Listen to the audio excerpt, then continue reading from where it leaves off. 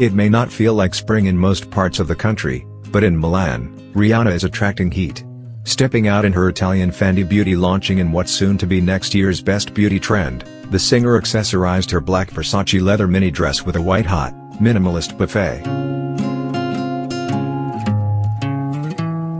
Long a fan of a Blanche polish moment, famously striding out of a New York club in 2016 with a square cream-hued pedicure, the pop icon is yet again making the case for keeping things shapely and simple. Universally flattering and perennially appropriate, the bright ivory-colored choice was paired with a set of sky-high metallic gold stilettos, effortlessly and strategically placed to show off her toned and shimmering legs.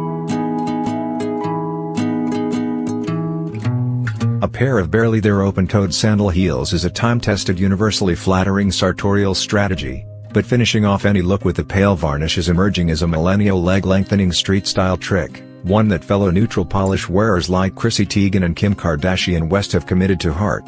Here's to a season of wide-out pedicures that are bold and bad gal approved.